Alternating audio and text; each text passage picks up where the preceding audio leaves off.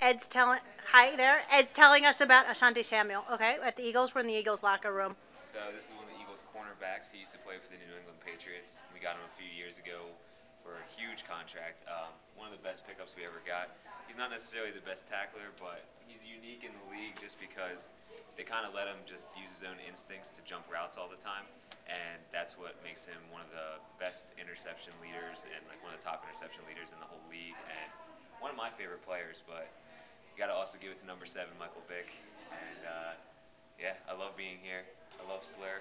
I love the Eagles Stadium. Where else can you join a major that lets you go and visit Lincoln Financial Field? This What- is amazing. What major is this, by the way? Uh, this would be LER, the best major that's out there, the sexiest major that's out there. Labor and Employment Relations at Penn State. And we're visiting our HR manager of the uh, NFL team, the Philadelphia Eagles, Christy Papel, and we're in the Eagles locker room. Not too many people are here. Join LER. There you go.